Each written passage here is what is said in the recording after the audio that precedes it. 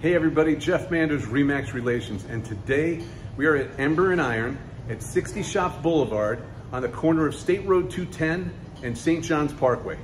And I happen to be with a really good friend of mine, David Moses, who's the general manager. We got a lot of history. We've known each other for about 35 years from our past life at American Express. So what I'd like to do is have David talk a little bit about what the restaurant's about, what they have to offer. David? Yeah, thanks, Jeff. Uh, Ember and Iron is conceptually considered a rustic American cuisine. Uh, we have an eight foot open hearth uh, grill in the back. We cook over live fire. And the live fire gives us a texture, an underlying flavor of smoke that you really just don't get anywhere else. And the essence of our food uh, really comes out with that grill. Uh, the bar program, as you can see behind us, is fantastic. We've spent probably the last couple of years trying to curate very specific bottles of whiskey, bourbons, and tequilas uh, all are available. Come and enjoy. So one of the things I've talked to David about, because one of their specialties is their cornbread.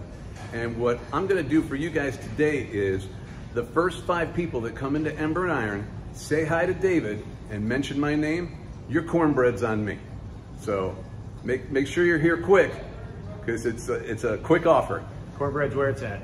So do me a favor, please remember to follow me on YouTube and for any of your real estate needs, give me a call at 904 763 0708.